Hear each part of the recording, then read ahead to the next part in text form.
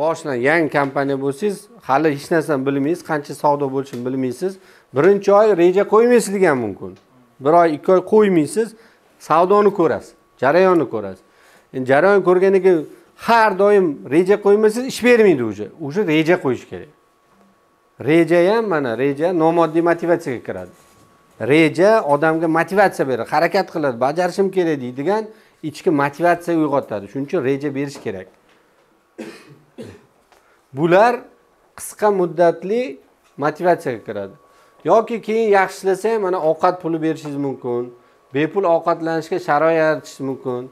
Yana ham yaxshi ishlasa motivatsiya sifatida nima qilasiz? Transport xarajatingni qoplab beraman deyishingiz mumkin. Keyin yaxshi ishlaganlarga nima? Turli xil sovg'alar. Oyning masalan nima? Eng yaxshi sotuvchisiga nima berasiz? Sovg'a podarkalar. Aytasiz yuz foiz plan bajarsang yuz foizdan ochirsang sanga yana nima? Bonus sifatida yana nimadir beraman desangiz уже bular sovg'adan qisqa muddatli. Keyin korporativlar tashkil qilasiz. Korporativ e, bayramlarda mustaqillik misol uchun hayitlarda nima qilasiz? Yig'ib osh poshlar anavlar berasiz. U ham moddiy motivatsiyaga kiradi.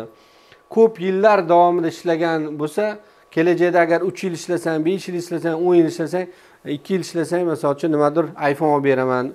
Besh yil istasang avtomobil olib beraman o'n yil istasang uy olib beraman deydigan motivatsiyalar bo'lsa ular уже uzoq muddatli. U nima qiladi? Shunga intiladi.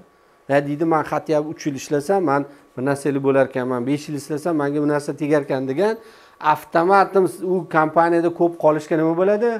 Motivatsiya ishtiyoq paydo bo'ladi. Shuning uchun uzoq muddatli sizda motivatsiya turlari moddiysi bo'lishi kerak. Ko'p kompaniyada umuman bo'lmaydi bu. Umuman bo'lmaydi. Endi siz katta kompaniya kelajakda o'n yillab yigirma yillab ishlashni plan qilgan bo'lsangiz albatta keyin xodimlarni kelajakda partnyorlarga aylantirish planini qilsangiz bo'ladi. Zo'r xodim o'sdi o'sdi o'sdi o'sdi kattalashsa oddiy sotuvchilikdan u kommersiy direktor bo'ldi super объемlarni qilyapti продажа planlarni qilyapti. Endi u super bo'lgandan keyin uni e, talablari ham super bo'ladida. Endi man ketaman o'zim kompaniya ochaman man bular bunaqa deyapti manga buni va'da beryapti degan gaplar. U уже anavi ko'zir bo'ldi. O'shanaqa holatda ketib qolmaslik uchun kompaniyani nima qilasiz? Partnyorga aylantirasiz. Kompaniyani dolesdan berasiz. besh foiz sanga dola deysiz. Уже dividend olasan deysiz. Yoki bo'lmasa yangi filial qilasizda yangi filialga rahbar qilasizda o'ttiz foiz sanga ulush deysiz. U biznes egasiga aylantirasiz. Natijada o'sha zo'r kuchli xodimni konkurent emas o'zingizga nima? Partnyor qilgan bo'lasiz. Hech qachon har qancha pulga tushsa ham yaxshi xodimni berib yuborish kerak emas. Yaxshi xodim sizga agar konkurent bo'lsa наоборот qimmatga tushadi sizga.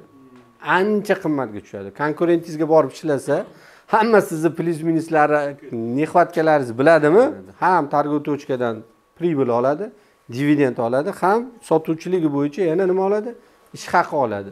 Ikkita joydan. Уже o'sha kompaniyani o'zini target точка o'z sotuvchisi yana ko'proq motivatsiya bo'ladimi? Ko'proq sotishga harakat qiladimi? Undan yana oshib bo'lsa ikkita tochka uchta tochka bo'lishi mumkin. Undan yana tepasi kompaniyani ulushidan beramiz уже bir foiz ikki foiz uch foiz yana ulushdor qilishga harakat qilamiz. Natijada u nima bo'ladi? Вечно sizda qoladi.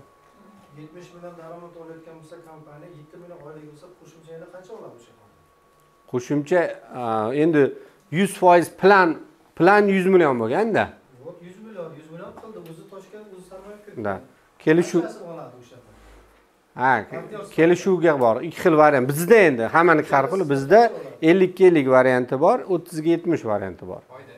Foyda shom vaqti bo'libdi besh minut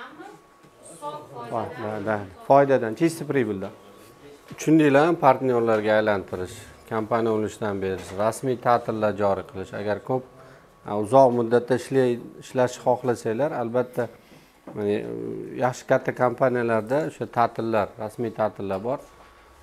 O'shalarni joriy qilish. Kasallik bo'yicha to'lovlar anavi deydiyu nima deydi? Больничный deymizmi?